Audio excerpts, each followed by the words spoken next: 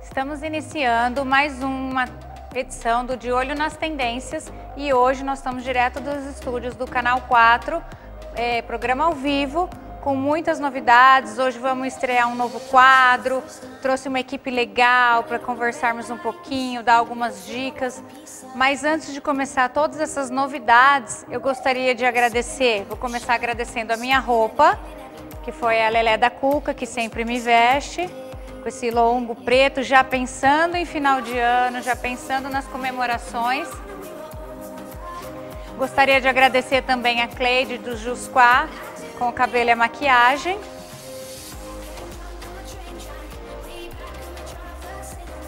E agora uma nova parceira, uma super parceira, é, em breve nós vamos estar mostrando um pouquinho da loja, dando dicas de arquitetura, de decoração, recém-reformada, que é a Santa Lola, que a partir de hoje vai começar a vestir os meus sapatos.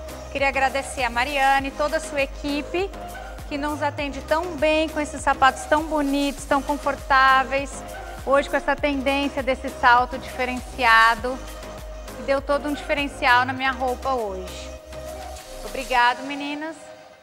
E para finalizar, gostaria de agradecer também a Lucília, que também me forneceu essas peças, os brincos, o anel, tudo do, veio direto de São Paulo, do Nino Branco, que eu amo. Obrigado também, Lucília, por ser a parceira também nos meus acessórios. E falando em coisas bonitas, em final de ano, hoje nós vamos começar uma temporada de dicas para você que quer arrumar sua casa para o final do ano, seja para reformar, seja para decorar, ou só para montar uma mesa legal de Natal, de Ano Novo, ou dar uma repaginada com os teus móveis. Hoje nós vamos começar toda essa série, mas nós vamos começar a partir do próximo programa, primeiro dando dica para os lojistas, quem quer dar aquele toque especial, uma tendência na sua loja, um móvel diferente.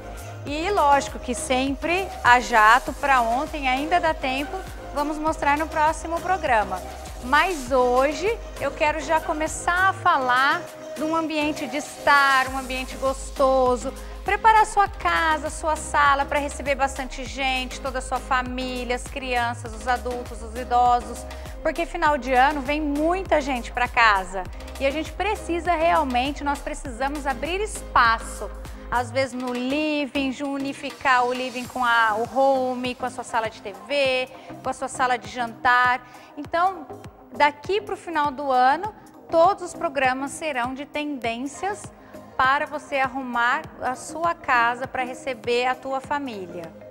E falando nisso, então assim, gente, às vezes a gente tem lá em casa, né, no hall de entrada, ou naquele cantinho entre o lavabo, ou num corredor, a gente tem lá sempre Todo mundo gosta de ter umas poltronas com uma mesinha de canto uma mesinha de centro, central entre as poltronas. Por que não trazê-las para o teu ambiente, para o teu living? Então a ideia hoje é mostrar que com o que você tem em casa, você pode transformar num grande ambiente despojado, bacana e que toda a sua visita fique confortável. Não seja aquela coisa que você tem que sentar e colocar uma almofada para o chão, porque a almofada está ocupando todo o espaço do, da poltrona ou do sofá, ou que chega mais gente, você tem que ficar puxando uma cadeira, uma banquetinha, a pessoa fica de pé. Então, você pode manter, você pode unificar os seus ambientes. No caso aqui, nós unificamos esse canto com essas peças de junco que são mais despojadas, esse está até lá na varanda, né? Por que não trazer para dentro? Aí, ao mesmo tempo, você pode ter suas poltronas, é, você cria um ambiente integrado, ah, eu tenho um baú embaixo de um aparador ou tá ali num canto. Não, vamos pôr entre as poltronas, a gente põe uma bandejinha, a gente põe um, umas plantinhas, você pode pôr uma decoração natalina, fica super bacana. Você integra com o ambiente geral do seu living, você pode misturar o sofá junto, as poltronas, a mesa de centro ela pode criar um composê. Você pode trazer aquele banco do seu jardim também, integrá-lo porque ele combina, você cria um rústico com moderno, um ambiente mais despojado, a tendência é muito despojada hoje. Então é, é bacana também, faz a diferença. Até para ornamentar o banco, para ele não ficar muito é, fora, muito solto, a gente criou até essa ideia desses espelhos com as alças de couro, que isso também é tendência hoje, está se usando bastante, o couro é uma grande tendência na arquitetura. É, a gente tem usado muito nas cabeceiras de cama, a gente tem usado como revestimento de gavetas, de armário, de aparador, criando detalhes todo um diferencial. Aqui no caso nós optamos em usar com espelhos. E a ornamentação dos espelhos também é muito bacana. Você não precisa ter aquele espelho tradicional. Já já o Fernando vai contar um pouquinho mais pra gente de tudo que você pode fazer de coisas legais com os espelhos. E a ideia aqui também foi tirar a sua mesinha de canto, de centro, desculpa. Essa mesinha, ela pode ser colocada num canto, ela pode ser colocada embaixo de um aparador, ela também, ela não precisa ser deletada, você pode usar realmente integrando no ambiente, mas já não como plano central, e sim planos de cantos, de acessórios, de complemento de alguma peça. E para poder ampliar os lugares para sentar, a ideia de pôr essa peça, que é tipo um, uma mesa, que ela pode servir como mesa, que você pode pôr é, as bebidas, apoio de copo, apoio de comida, mas também chegou mais gente, você pode pegar uma mesinha de canto, você pegar um garden, pegar outras coisas, colocar como apoio para as pessoas e servir para as pessoas sentarem.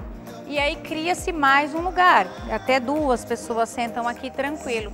Então essa é a ideia, gente, de agregar o ambiente, integrar toda a sua mobília para receber, preparar a sua casa para o final do ano. E para arrematar, de repente aquelas telas, a gente já vem conversando há muito tempo que você não precisa ter a tela certinha pregada nos, nos pregos da sua parede, você pode ter uma parede desigual, você pode ter uma tela comprida apoiada no chão e também apoiada nas prateleiras, que isso fica um charme. Essas telas de folha também são grandes tendências, que nós pegamos tudo lá na Casa Boni com a Marlene. Marlene, eu queria agradecer, pena que você não pôde vir hoje para estar aqui comigo apresentando esse cenário, mas também é uma tendência legal que você pode agrega a qualquer ambiente, pode ser numa copa, numa varanda, num home, num living. Também é, é, legal você ter esse tipo de peças que você pode diversificar, que você pode é, fazer essa reforma, essa mudança dentro da sua casa, entre um ambiente e outro, dar essa renovada. E ainda dá tempo para quem quer mexer na sua casa, vamos conversar um pouquinho mais hoje sobre quem ainda quer mexer na casa para o final do ano, de você encomendar os tapetes, esses tapetes sob medida. Que o legal é você sempre ver o tamanho dos ambientes e fazer um tapete sob medida. E esses tapetes com essas texturas, com alto relevo, eu particularmente adoro, já usei em alguns clientes meus, também cria todo um diferencial.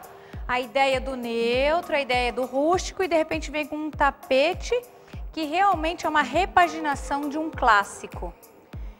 E ao mesmo tempo que ele tem é, as estampas é, repaginadas, né, mais antigas que estão voltando. Ela também tem essa textura, essas manchas que dá um ar um pouco mais moderno. Mas lembre-se, tudo que você tem nos anos 70, que você te, tinha dos anos 80, traga para dentro, tira dos seus armários e repagine sua casa. Você pode misturar, ele vem como complemento e fica muito legal no ambiente. Nós vamos fazer um breve intervalo e daqui a pouco nós vamos começar a dar dicas nós vamos falar um pouquinho aqui com a nossa equipe, a minha equipe de obra, minha equipe de decoração, todo o meu staff, do que você ainda dá tempo de fazer para o final do ano. Aquela pessoa que quer reformar sua área gourmet, sua sala, sua sala de jantar. É lógico que não dá para quebrar toda a casa e reformar para o final do ano. Mas até trocar um piso ainda dá tempo, refazer uma iluminação, criar um diferencial. Gente, corre lá porque ainda dá tempo. Até daqui a pouco. Eu estou aqui e aguardo vocês.